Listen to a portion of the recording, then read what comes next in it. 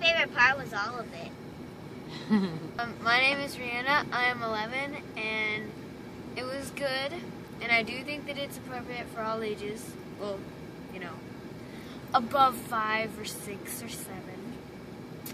And um, my favorite part was when oh, I forgot his name. The cowboy dude. um, yeah, his name, him, um, tricked the lady, uh, Kate? Kate, apparently, um, that the sun was the moon. Yeah. Um, my name is Liz, and I am 13, and I really enjoyed it, and I think it is appropriate for all ages. It's a cool story.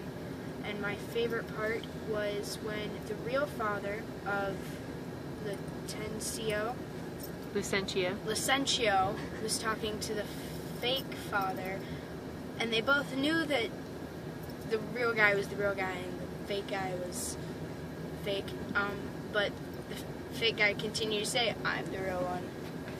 Okay, my name is Corey. I am 12 years old, and I liked it a lot.